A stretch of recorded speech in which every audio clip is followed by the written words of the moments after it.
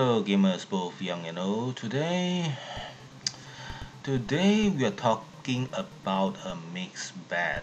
Why? I admit I do love Ninja Turtles too, but there are issues in these games. Now let's talk about the good and fun part. You get to play two player this time either choose one of the turtles to fight and most of the time people choose Leonardo because he's badass and the other person can choose the other turtle. But once the setting is done like this you are not allowed to use other turtles and most of the time you only stick to one.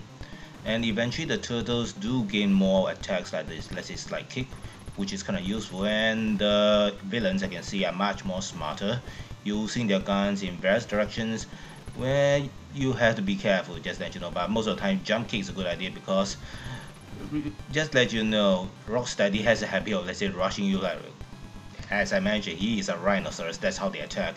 Where it causes a lot of damage and you rather take the let's say gunshots which is not that painful compared to let's say his hit butting or let's say horn butting whatever. Now just put it this way. Why I say this is a mixed bag? Because this is definitely a ninja style game but it's not that flexible. I can't use the other turtles which is a thing that I really don't like to see. And as you see the same thing happens here. And this one the nice part of the game. We do have a lot of sequence and it does bring us the story which is all. Ah this is one of the fun parts. You see the girl that let's say you miss right? There's a saying that if you hit her she'll get stripped naked but I've never tried that before. Most of the time she ducks my attack. And Sim Biba is doing the same thing. He'll be using a ram attack. Just make sure you don't get hit by the ray gun. Remember it turns you into a tiny turtle and that's something you don't want to do now most of the time you'll be using a slide kick for it is one of the angles that put you in the safe positions and you're allowed to hit your opponents easily and don't fall into the hole Although I'm quite certain if I was the Ninja Turtles, that is one of the places to escape or let's say hide until someone attacks me, which is a very common ninja tactic. Now, there's one thing I need to point out here. I did did some research on ninja's tactics and let's be fair here, Leonardo is the least ninja among them all. For he's using the most non-ninja weapons there's no thing, there's no such thing as a katana to be used by ninjas. If they are katana wielding ninjas most of the time they pick up the weapons from dying samurais and they let's say utilize weapons. Katanas are just too long to be hidden which will be um let's say problematic for ninjas are epsilon's units. They do not let's say fight people in direct combat which is what I'm doing here. But anyway this is a game so just let it be. So now I can see you took a lot of slashing before I kill Bebop. And I'll be moving to the next level which yeah underground level. Now there's one thing that I never understand which the angry video name got point out I am a turtle why can't I swim because if I do fall in the water I'll float away and eventually die and you can see the annoying robots are being left here and I have let's say the slide kick is the best way of doing it. A lot of people try to master this for a good reason. Why? These guys are the reason. For you see, the turtles attack are actually I just put this way, they follow boxing rules, which is above the waist. There's no, let's say, lower punch that allows you to, let's say, take things that are actually shorter than you. And you can see these guys are far more shorter than you and your blades are not going to do much. So most of the time, you will be using a slide kick and your normal kick is actually not high enough to hit them and the slide kick is, the, is also one of the most basic air attacks so you'll be using this quite often now one thing that I need to mention is the graphics did not go for better it actually went for worse you can see. And I really cannot identify turtles unless I'm talking about the weapons. I can't even identify what I'm doing here. Most of the time you can see there are glitches that actually let's say make your body changes or let's say disappear through time to time. And being story orientated is a good idea although the story is to be much more hilarious and funny. After all this is dealing with kids so don't expect any let's say deep detailed stuff like what we did in the previous game like Rockman. Okay let's say what we're going to do here. Okay now there's another thing I need mention out. I do know that the Foot Clan has the habit of let's say making lots of mutants, but I never seen a wolf guy before. Alright, some people may let's say argue with me, yeah, there was a foot guy in Ninja Turtles and Batman. Okay, that was a single movie, but as for series, do we have a wolf guy? Does he have a name? Or did someone in let's say Nightshade or let's say other games or even Castlevania just walk in the wrong studio and you just told to let's say cameo for a few minutes. And this cameo is kind of sad because I just put it this way, is it it it will be better if they just bring back Biba and Rocksteady. I mean they are strong, mindless hung and hurling rocks at you is definitely their thing. You no need to create a wolf and let's say let him come in and you can even add a let's say talking title mention aha I was given a second chance and you know that the second chance is not to help him to make him much more pathetic and being the loser that they are why don't you do that which is kind of sad thing that's why for me this is actually a missed opportunity which shouldn't have happened in the first place so another mention is a tiring boss really take a lot of hits for you to take him down which is kinda sad. Not to say that this game is bad, yes, it is fun. Yes, you can play with a friend, no doubt. But as a reviewer and my friend is doing the technically, let's say, taping that, this thing down, he is in charge of taping while I'm in charge of playing. We can, we can let's say, put two together. And he's a, I don't think his girlfriend will allow herself to, let's say, be in this. And yeah, I can see he's flashing. It will, this sooner or later he's gonna die, but just let you know, even the flashing guy would take a long time to die. Uh, do you remember the shurikens that we had in the previous game? Not here anymore. You only can do melee. Which makes me feel more like samurai than a ninja. After all, ninjas are very fond of melee weapons. And believe it or not, unlike samurai who some of them do despise muskets or guns, ninjas love guns. They even create bazookas you just to fight just to let you know. Ninjas were the first one to use cannons then. I'm not joking, really. Okay, now let's see what's gonna happen here. If I'm not mistaken, um, there'll be a walking scene for no good reason. Spring is here. Why I'm saying this, I have no idea. Okay, we are saving April again and we are fighting the fly scientist. This is actually one of the, you can see most of the time. really, jump kick is the best way to attack. Why? Because if you jump slash, you'll be let's say using his energy weapons from his wings and it will hit you. But if you let's say jump slide right, there's a most probable chance you'll be landing at different place and the energy weapon from his wing is not gonna slash you. So this is kind of this is kind of suck. Yeah, that this game is kind of bad, but I but I still like it for certain reasons. Why? You see more of the let's say Ninja Turtles villains coming out here and then you do see that. Although they do not play a bigger role and in order to lengthen the gameplay, the designers did brought in a lot of new stuff but we do not feel nostalgic then. Sadly, it is these nostalgic moments that make us love the game, despite all its flaws. So to be fair, I don't mind fighting the fly guy, but I do mind fighting the wolf guy, just let you know. Okay, I've already saved her and now let's get into the truck. Now for further information, this was actually April's uh, let's say reporter truck and yet I have no idea why she gave it to us and oh my god, we are promoting bestiality. Seriously, April, you don't want to have sex with that thing. Do you know how long a turtle dick is?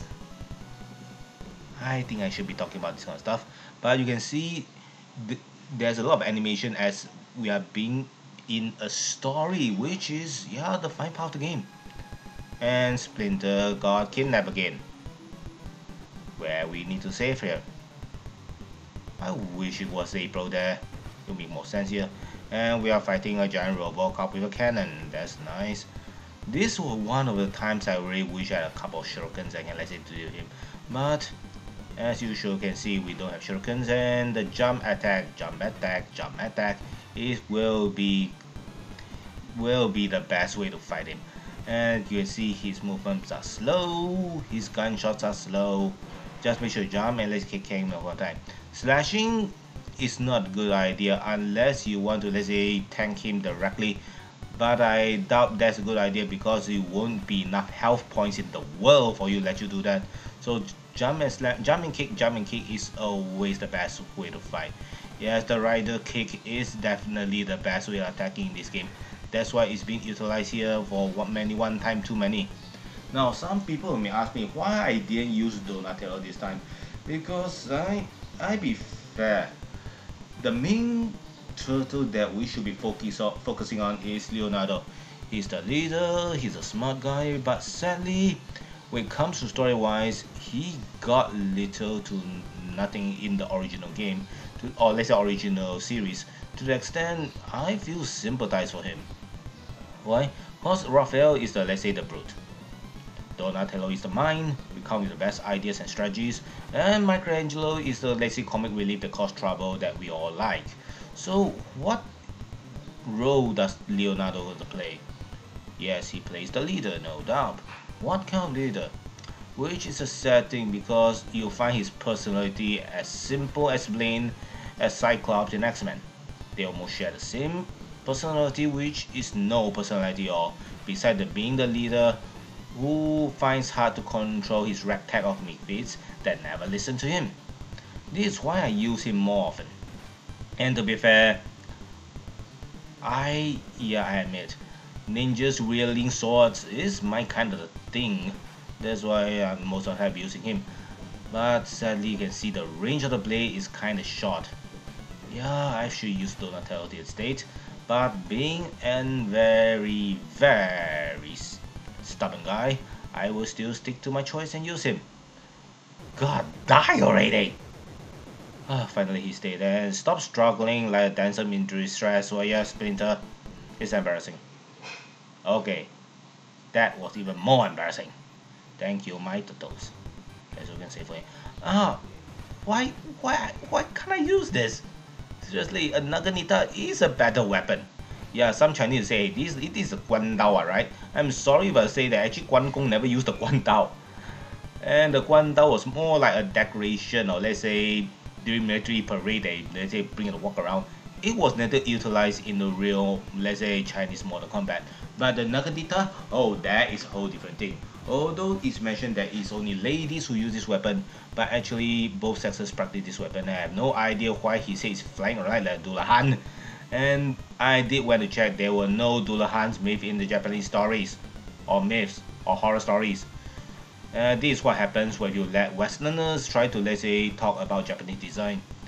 And you find this hilarious, you should have a good look at Legend of Five Rings, where they let's say take it to the whole new level. Now, being a children's game, as you can see just now, when Donatello, when uh, Leonardo is being defeated, he does not change to minor turtle, his head does not fly off, he just faints at the corner, with a lot of stars around his head. That's how you are being defeated. For after all, this is a children's game, we are not going to expect to see them make turtles soup out of it. And just to let you foreigners know, there is no such thing as turtle soup. These turtles are soup material. Yes, there is a certain soft shell turtle that can be made into soup, but that is a whole new different case. They are not this kind of turtles. They are actually called pie, not gui. Just let you know, guis are not supposed to make soup. Not even Japanese make turtle soups. And due to coronavirus incident, I need to point out, yes, we know it was China that is responsible. Uh, yes, wildlife as food surplus is not a good idea. But if you're gonna complain them using bats, right, then it's plain wrong. Cause as long as it's being hygiene or let's say being let's say well organized or the food are being well prepared, it should be fine the main problem here is unhygienious of the Chinese, not because of their eating turtles. So please make sure that your complaint makes sense. And okay, I know this is a political message, but I think I need to point this out. Bill Gates has nothing to do with the coronavirus. If you want to blame, it's Tedros himself for not being a responsible leader. And Bill Gates has no control him. So to blame Gates on this is kinda stupid. Now speaking of stupid, yes, knife in gunfight again. Swords in gunfight again. Not a good idea. As you can see, I am not even using slashing. So eventually playing this game, you will be using the other turtles and you'll be doing the same thing, jumping and kicking, jumping and kicking, jumping and kicking. And I did remember a Bruce Lee documentary mentioning that jumping and kicking was never a good idea. Really, don't try everything you see in martial art movies because they are stupid and dangerous, especially anything that Jackie Chan used to do. You can try Donnie Yen's tactics, uh, those are sometimes partially usable, but other movies I can't say for that. Okay, Bruce Lee is, uh, is another exception, but you can just let you know, if you jump and kick and you miss and you hit the ground, actually you damage and break your foot. Just let you know. The target you hit is actually the cushion they're supposed to help you. So it's a bad thing for him and a good news for you. So most of the time in jump kick event, right? All your opponent need to do is to avoid you and with a shotgun in hand, I can shoot you away, which will be causing more damage here. This is why if you see when you see WWE when they are fighting, when someone is jumping on high ground, the other person go and hugs him. It's not to let's say the act of let's say I'm being knocked, knocked down, that's one thing. The other thing, I need to ensure the guy's happy landing or safe landing unless I want him to go to the hospital. Alright, he blow up. The barrier doors open. Now let's go in. Finally. And we are dealing with the final boss. I can't recall his name, but yeah, he's the guy with the brain and stuff. As usual, jump kick again, jump kick again. And he shoot lasers out of his eyes. As he was Superman. And I just let you know, I just a uh, quick time event let you let him die and whoa, the brain's finding. I'm invincible. Okay, show me your invincibility. What can you do? And he ran away. Yes. He claimed he's invincible and he ran away and we finally have our ninja and oh Okay Shredder, I admit despite of your clothing, you can be considered a ninja. That is one of the ninja tactics where they, I mean where they like split into different personality. Now by right you can't do that. Actually you have a let's say double let's say do that for you. But ninja's combat is always caused on confusion and like the Death Star this thing is blowing up. I need to run now. Oh god. Whoa. That was a big explosion. Okay, now let's see where I'll be going after this. A block, in other words, the game's over and I will put my ending note here so remember to subscribe and I'll see you next time on the third game which I basically consider the worst among all. I have my reasons, but I do admit it does have its own nostalgic purpose. Firstly, Ninja Turtles were never a good idea to make games with unless you know what you're doing. But how come it's still so famous? How come we kids like it? How come there are fans for it? And how come, let's face it, the nerd play this game, he got frustrated and it still draws him back. For this game brings back the nostalgic purpose. The movie cut cutscenes did bring us back. And the game was not so horrible that it's undigestible. You're still able to be able to stomach it. And I admit, it's the fan service. This service as well. So we are willing to let's say give them a chance. So see you next time on how that game yeah disappoints me and yet he was able to let me to hold on to it and not be able to let it go. I'll end the note here with the BGM of the of this song. So see you next time people. See you next time.